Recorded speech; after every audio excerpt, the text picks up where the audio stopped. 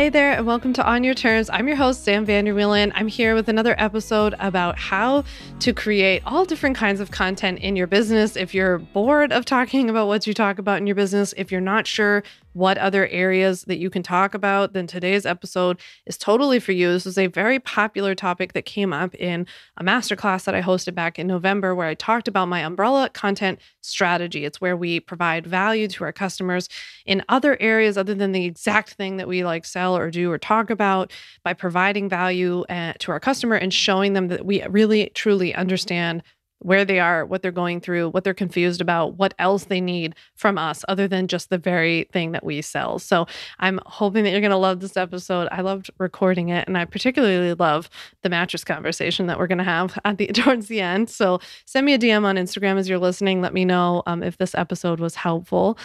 And I said it last week, but uh, starting starting now, starting last week, I guess, I'm going to start doing a little coffee talk segment before we get into the episode where it's just a very quick catch up um, so if we were getting coffee now, what I would tell you is that I am planning for the business and hiring like crazy. I've been working a lot behind the scenes on my organizational chart, which is just really funny, like bizarre world for me. Because if you don't know, an organizational chart is essentially like is like literally a chart of bubbles that has the company's like the organizational structure of the company, right? So it has like a mm-hmm. COO or a CEO is you, right? That's the main person, the founder. And then there's like a chief operating officer. Some companies have a chief market marketing operator. Some people have a chief financial officer. Like there are all these different essentially like departments and and there should be like a head of each department and then there are people under them that might be managers or executors. Executors are the people like implementing. So that's what I've been working on. Um, and it's really bizarre mm, for me because when I was an attorney, I was actually not only creating organizational charts for other companies, but I was always like referencing them. Like when we would go to sue and we were figuring out who to include in it, you would look at the organizational chart. And I remember being a young attorney and I just told my friend this the other day, like, the first uh, big law firm that I worked for, and the senior partner was like, "Go get me the organizational chart," and I was like, "Okay, cool, I will." And then I went, you know, a couple doors down to my to my uh, colleague's office, who was like a, a young-ish attorney, you know, older than me, but a lot younger than the senior partner, and I was like, uh, "Gus, what's an organizational chart? he was like, uh, I'll show you. so I, I, remember not even knowing what it was to, you know, fast forward like I don't know, a little less than 10 years later, and I'm creating one for my own business. So it's bizarro world over here. Um, it's pretty weird, but at least I know how to make it. I guess that's the upside. So yeah, I am looking for all the help over here at Sam Vander Wielen LLC. You can always head to samvanderwielen.com slash hiring to see if we're hiring for any positions within the company. I would love to work with you if you want to work for us, but um, I'll make sure I include that link below just in case anybody is looking for a job or you know somebody is looking for a job. With that, I want to give a shout out to the reviewer of the week. So, in case you don't know already, if you leave a review for On Your Terms on Apple iTunes podcast, um, then I will give you a shout out in a future episode by reading your review on air. And if you tell me what your IG handle is by screenshotting me your review and DMing it to me on Instagram at Sam Vanderwielen, then I can share about it on social media. So Liz wrote, I love this podcast. Sam knows her stuff, and it's obvious that she genuinely cares about her listeners' success. She keeps it real and shares incredible insights that are so helpful for business owners like me. Thank you, Sam. Well, thank you, Liz. I really appreciate you for leaving a review. Thank you so much for listening to On Your Terms, and I'd love to give you a shout out if you want to leave a review on Apple iTunes podcast, and I will read your review on air. So, with that, let's get into my umbrella content strategy. This is a good one, and I can't wait to hear from you and what you took away from this episode. So, I don't know about you, but I need like more than one thing to talk about my business, or I think I would lose my mind. Like, pretty early on, I realized I do not just want to talk about legal stuff because it feels like limiting and stifling. And I know that my ideal customer is struggling with other stuff, right? They're not just confused about how to legally protect their online business. They're not just looking for contracts. They're also trying to figure out how do I build my email list? How do I build my audience on social media? How do I get more clients? When's the right time to raise my prices? People have the same questions in my community beyond just like, what kind of contract do I need? And I know that we can get bored of our like straight up content, like whatever it is that relates directly to what you do, or like the very specific niche of of the area of what you do. And that was definitely the case for me. But we also are losing, I think, a big opportunity when we don't speak to other concerns and questions that our ideal client has. But there's a way to do it. I think there's a way to do this right so that you don't confuse people, so that you don't spend too much time talking about this other kind of content, and so that you can still, at the end of the day, become known for something, because that's really important when we're marketing our businesses, that we become known. Our name becomes synonymous with what we do right? So in order for us to do that we have to consistently show up and talk about the the area in which we teach on what we sell about but you are not limited to talking in your business just about the very specific thing that you do. I think it's a great way to show that you really get your ideal clients in talking about your content in an umbrella method fashion and that's really what i'm going to focus on today is teaching you what I call the umbrella method of content, talking about how I integrate this in my own business, what this looks like, how you can go about sketching this out in your own business. So, this is something that I actually brought up and taught in November's um, From Startup to Sold Out Masterclass series. And I felt like there was almost like a collective, like sigh of relief in the virtual room when people were like, oh, I don't just have to talk about exactly what I do. And it felt like such a sense of relief, right? So I'm really glad that, that you might feel relieved. And I hope that today, after this episode, you'll walk away feeling like you at least have a strategy, right? You know me, I'm always thinking about the business strategy here. So everything has to make sense when it comes to your business. But there is a way to do this that actually supports your business, not just like, oh, this isn't going to hurt my business. It will actually help your business. I don't, however, and I'm going to get into a second what like what the umbrella content method is and like how you go about designing it and all that kind of stuff. But I want you to remember that when I'm talking about talking about other things in your business other than the very like core, you know, offer that you have, like me not talking only about legal, for example, I don't want you to be like interested in talking about other things because you feel like you're just saying the same thing over and over. You've probably heard people say this before, but it is true, so it bears repeating if you're repeating yourself in your business, then you're doing something right. Right. You're saying the same thing over. It means you're being consistent. That's how we're really going to set the foundation for you in your business um, for you to become known for something. And so I remember a mentor of mine about a year or two ago had said, you know, you've become synonymous enough with like what you do in your community that people know that you sell legal stuff, that that's what you're there to talk about. That if you want to do a training on like uh, building your email list or a little like quick tip on Instagram stories, it's not going to impact your business, right? The actual thing that you sell and, and that makes you money. So it's really important that we spend the time actually cultivating and building and strengthening this foundation of really getting comfortable with repeating ourselves, with becoming known for something, and for really coming at it from so many different angles. So, I just wanted to be clear before we get into this today that, you know, this is not a way to get out of showing up and talking about your offer. This is like for those of you who are doing the work, being consistent, showing up, building your foundation, becoming known for this area, but you also know that your clients have other interests and concerns and you have other interests and concerns and maybe just want to spread your wings a little bit and show really what you what you know right? The full depth of what you know. So it means you're doing something right. If you're sick of if you're feeling like oh i'm repeating myself you know i'm saying the same thing over. I feel like i've already talked about this that means you're doing something right. Keep going. Keep saying it. Teach it from a different angle right? Look at um, what people's questions are still. Read a recent like testimonial and then dig into that person's story about like what they were struggling with because the truth is someone else in your audience is also going to be still struggling with that. And keep doing that. This umbrella content method that we're going to talk about today is just an additional layer on top of all that. It's not a substitute, right? So we are going to transition into talking about what is the umbrella method. What the heck am I talking about when I say the umbrella method of content? So I am super visual. I don't know about you. Are you a visual learner? I don't know. But for me, I have to like think of something. I'm like the queen of analogies. I'm always like thinking about those kinds of things in a visual way. So the, here's the way that I think about creating content for your business. I think that your ideal customer is like a person standing holding an umbrella, right? And your business is essentially the umbrella.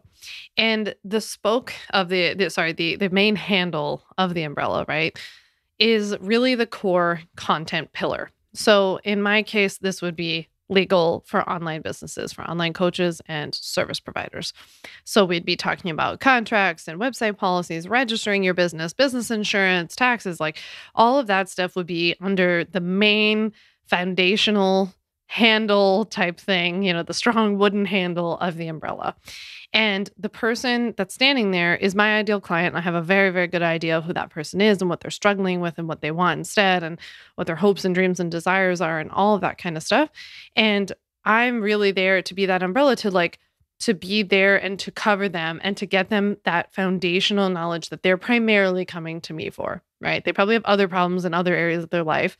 They definitely have other problems in other areas of their business, but that's really what they're coming to me for, right? But the reason that I started thinking about and creating this umbrella content method is that, you know, I felt limited by that, right? by just talking about legal every single day because I am interested in so many other things. And I've learned a lot over the way, you know, during the time that I've built my own businesses. And I also know that when my ideal client is standing there holding that umbrella yes they are holding that handle and i am that like main pillar for them that's that hopefully they're coming to for legal information about their business but I know that there are other spokes on the umbrella that are covering them, right? And so some of these other spokes, like I've alluded to, might be social media, right? Like how to build on social media, how to get more clients from social media, it might be copywriting, it might be building an email list, it might be all different kinds of things, how to run group programs. Like there are all different kinds of um, topics that are still under this umbrella that my ideal client is struggling with or has questions about or wants to learn more about that aren't related to anything that I offer necessarily, but they are related to my ideal client. My ideal client is still struggling with that while also struggling with the legal piece, right?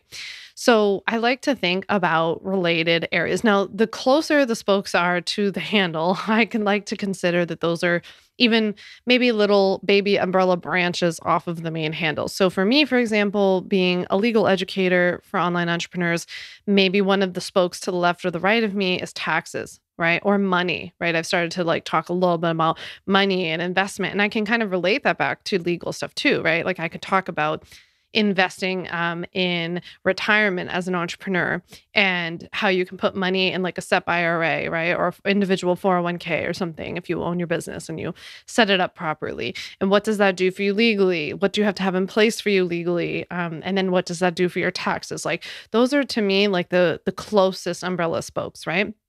If I take one step out, one more notch over, then I might start to get into like, well, how do I build my email list, right?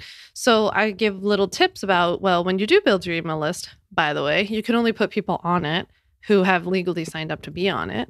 But like, here are some tips as to how to get more people to sign up for your email list. Like, I've got you covered on the legal side, but like, how do you get more people on your email list, right? So I can start to teach about that. And so it gives me this opportunity to like step out a little bit and also show my ideal client that I've got them in other areas of what they're struggling with. This is not where you should spend the majority of your time. Shouldn't even be a high, high percentage of your time or your like content amount if we were quantifying it. But I do think it's something that you can start to splice in once you're building that foundation that we talked about. Once you feel like you're really working and you're spending the majority of the time on setting that foundation and being the handle, you can start to kind of go out to like what these other spokes are, right? And start addressing what else your ideal client is struggling with. And I think that this is like a really cool way to bring in other content and to mix things up, to look even to like different purposes of this content. So, for example, maybe some of this content is merely meant to get people's attention and kind of bring them into the fold, right? I see this a lot in my business where somebody might not be necessarily super pumped about about following somebody on Instagram who gives legal tips, you know, especially like once they get their legal stuff in place and they're like, well, why would I continue to follow this person? It's kind of like a one and done situation. But not only do I continue to give like additional tips that they might not have thought of, and I, I showed that to them on Instagram or elsewhere, but I'm also then talking about this other stuff, which keeps them in the community, which keeps them top, which keeps our company top of mind. And then it keeps you top of mind for referrals to other people. So I think that that can be a really, really helpful tool in growing and deepening this connection with your community, which I actually talked about last week in last week's episode about continuing to nurture your customers. This is another way that you can continue to nurture your customers by talking about other things. One of the best examples that I love about this too is that you know, if you're ever feeling a little dry on content, you're having writer's block, you feel like you've explored something from every angle, I like to take a look at what other companies are doing. Overall, in general, I would like highly recommend for you to, as much as possible, absorb business knowledge and information from people outside the coaching space. Um, for one, there are way more highly qualified and like skilled people, you know, operating in in other ways, like they're actually focused on business, right? Not just like, oh, I did a launch that was successful and now I have a business. Um, so we want to actually like take stuff from people who are like way, you know, uh, doing this on a, a larger scale. But the other thing is that sometimes it's just helpful to like get out of this bubble, you know, and kind of see that things are are done a bit differently. So I read this article once that, and if I can find it, I will link it. I swear. But I read this article once that was super helpful that was talking about one of the mattress companies. I don't recall if it was like avocado or purple or whatever, but it was one of these mattress companies that sends you the mattress all rolled up in a box.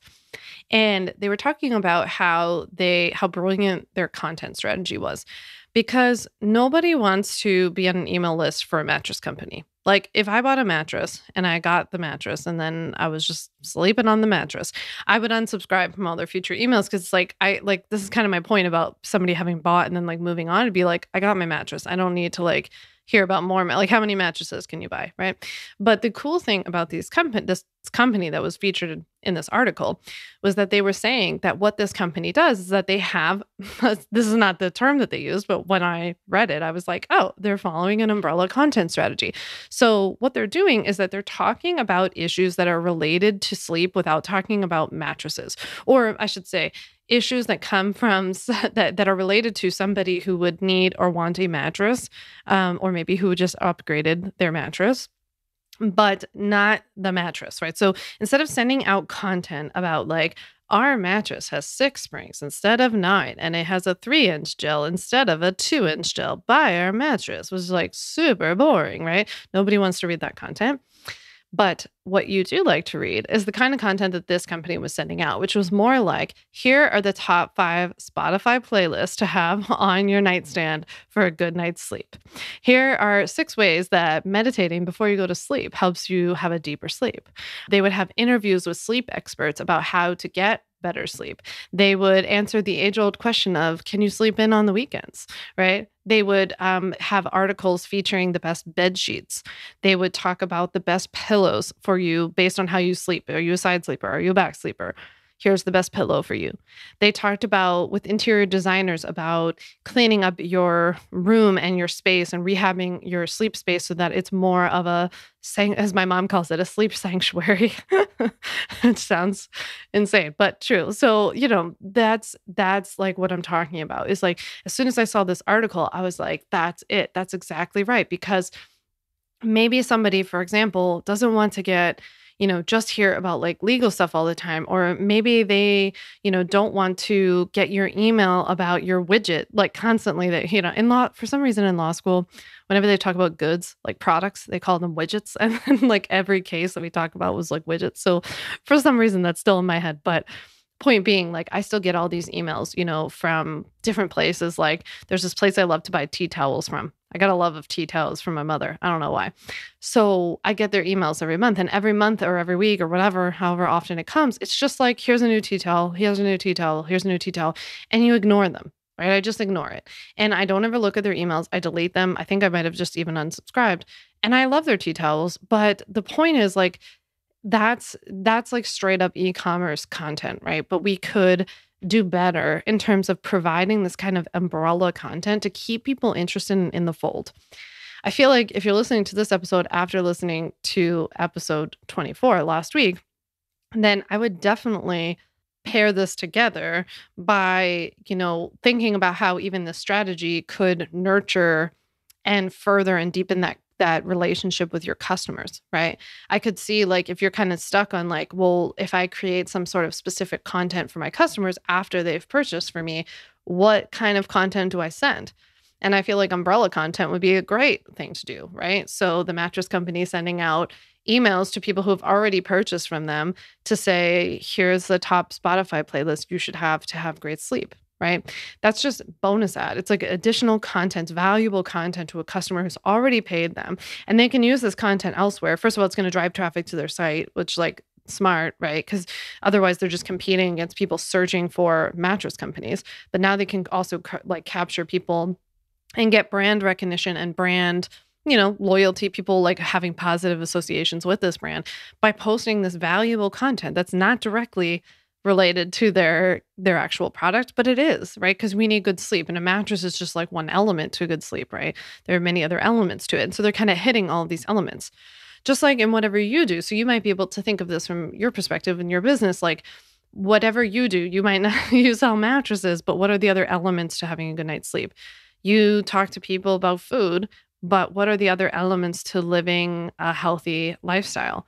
Movement, mindfulness, mm-hmm. Their work life balance, stress, you know, uh, nutrition, vitamins, I don't know, all kinds of things, right? So there, there are many different spokes under your umbrella of what you're helping clients learn more about, get in touch with, improve upon, that you can talk about that still help them, right? Because you understand, if you truly understand really where they are and what they're struggling with, then you're also going to be able to be like, I know what else they're struggling with, right? I I have lived my customers' shoes, not from the legal perspective, but I know what it's like to start your own business and I know what it's like to be to be googling everything, to be collecting all the freebies, to feel like is this ever going to work? Um, should I invest in a business coach? Should I focus on my email list? But everybody's saying that reels are really important. Like it's it's confusing and it's overwhelming and I understand all of the different aspects as best as I can. This, you know, now that people are struggling with. So those are my spokes and that's what else I talk about. So I want to give you the freedom to create other content that still makes sense for your business, that doesn't, you know, dilute your messaging, your branding, what you're known for. I really want you to be known for whatever it is that you do and have your name be like, you know, Sam, that legal templates woman, right? So I want that's what I'm working towards. That's what my hope and my goal is. And I want the fact that I offer like other stuff to be a bonus. So I want your name to be synonymous with what you do, but I also want you to be seen as like a real expert in your field, somebody who's like, man, she can like she can help me with all kinds of stuff. And also somebody who they see as a trust, you know, trusted leader in the space in what you do because there are a lot of people, the truth is there are probably a lot of people who do what we all do, right? But not everybody does it like you do. So I want you to lean into this umbrella method as much as possible and I would love for you to send me a DM on Instagram and let me know that after listening to this episode, what do you think some of the spokes on your umbrella could be? Did this episode illuminate anything for you? Did it help you to just get permission to be able to talk about other things? Did it make you realize that you've got to work harder to be known for what you do so that you will be able to talk about these other things? Do you see a place in your business where you could add value to your customers, to your potential customers, by talking about these other things that they are experiencing, struggling, confused about? Right. So think about it. Send me a DM on Instagram. Let me know what you're thinking. Let me know what this episode brought up for you. Until then, thank you so much for listening to On Your Terms, and I'll see you next week. Thanks so much for listening to the On Your Terms podcast. Make sure to follow on Apple Podcasts, Spotify, or wherever you like to listen to podcasts. You can also check out all of our podcast episodes, show notes, links, and more at samvanderwielen.com slash podcast. You can learn more about legally protecting your business and take my free legal workshop, Five Steps to Legally Protect and Grow Your Online Business at samvanderwielen.com. And to stay connected and follow along, follow me on Instagram at Sam and send me a DM to say hi.